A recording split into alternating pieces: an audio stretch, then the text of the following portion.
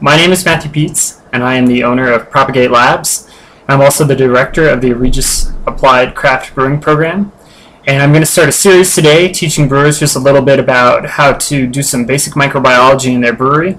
Today we're going to do a wet mount slide, and this is just a simple way to look at anything you've grown up on a culture plate or can find somewhere around your brewery, and to take a look at it under the microscope, see uh, what it is, uh, be able to identify it as bacteria or yeast, and get an idea of what kind of yeast it is. So the sample we're working with today is from a kombucha culture. Um, so this is just a sample of a kombucha culture that I streaked out on a plate. Um, you can tell there's a couple different colors of cell colonies. There's some white ones and some green ones, and then I've already streaked a couple off this place.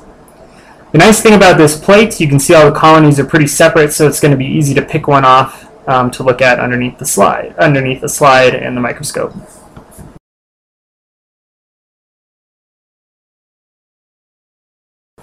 So what we need today, other than this plate here, are some pretty simple tools. We need some glass microscope slides. These guys here. We're going to need one of these little glass cover slips. We'll need some water. And we'll need a pipette uh, to measure out the water and something to take the colony off the plate.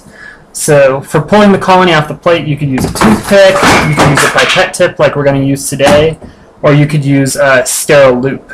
Uh, if you're going to sterilize the loop, one of the good ways to do that is to use a, a, homemade, pretty much Bunsen burner. You know, there's no gas to hook up a Bunsen burner to at your house, so you can buy one of these little propane tanks and put on one of these soldering tips. Um, create a little flame and sterile environment for yourself. So this is a pretty easy procedure. The first thing we're going to do is we're going to grab some water. And I'll put a little drop of water on this glass slide here. You want to make sure you don't get too much on there. Um, it's pretty simple. You just need a little drop on there. And then what we're going to do is pull one of the colonies off this plate. Now there's two colony types. We'll take a look at both. I'm going to start by pulling one of these white colonies off of here. You know, it's, as, it's as simple as coming down into this plate and grabbing one of these colonies off of it. Uh, so you can see I've got a little colony on the edge of my tip. I'm going to put it in the water here, kind of swirl it around a little bit, break it up. I don't need too much yeast um, to be able to see it under the microscope, so that'll be more than enough. Then I'm going to take my glass cover slip here and simply put it on top. And it's as simple as putting it on here at a 45 degree angle and letting it drop. You want to make sure you don't get any air bubbles in there. Um, and if you do, you can just you know clean off the slide or get a new slide and start over. Pretty easy. We're going to bring it over here to our microscope. And this is the most challenging part of really using a microscope for anybody, and that's getting it in focus. Um, so don't be afraid of your microscope. You know, it's a tool that you're using. Uh, it's going to make you a better brewer. It's going to allow you to do cell counting, look at cultures. Uh, we'll talk about gram staining in a later, later presentation. So it's a really powerful tool for you to be able to see what's going on in your beer. Um, so obviously the first thing we want to do is turn it on. And what this is doing, this light is coming up through the bottom.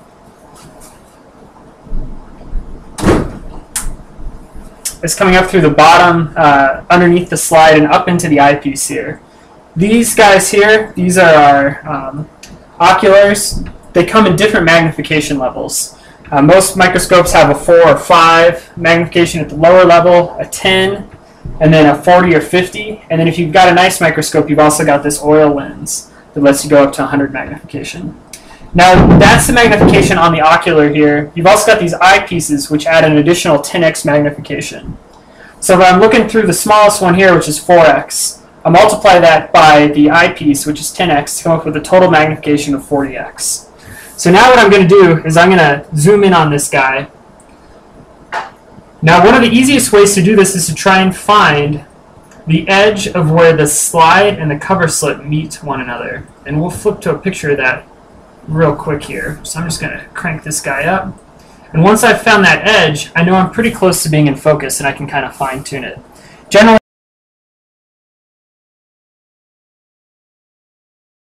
these microscopes have two dials over here on the side. One's going to be your coarse focus that lets you move that stage up and down quite a bit.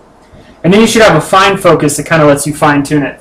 So now that I'm zoomed in with that 4x magnification, really I only need to use the fine magnet, the fine adjuster from here. So I'm going to swing my eyepieces, my ocular over, go up to 10x here, 10x on the ocular, times the 10x on the eyepiece brings me to 100x magnification.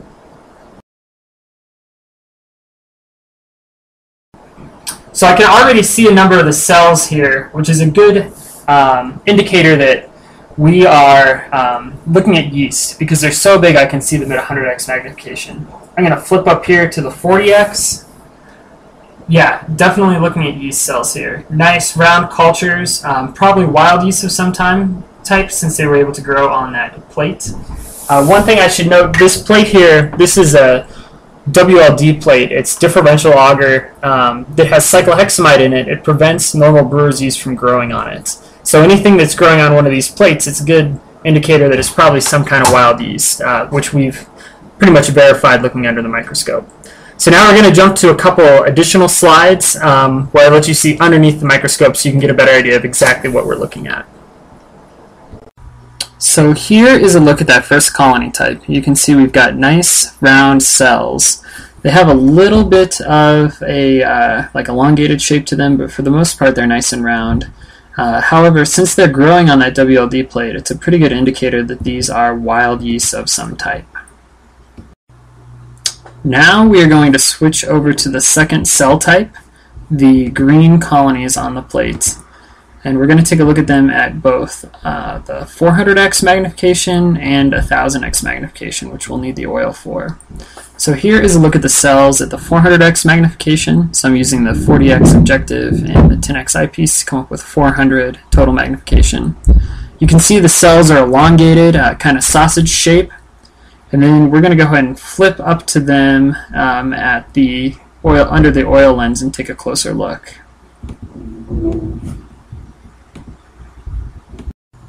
Here is a look at those cells under the oil lens. So we're now at 1000 magnification. You can see they're elongated, they've got some odd shapes going on to them. Definitely some kind of wild yeast that we found in this kombucha culture.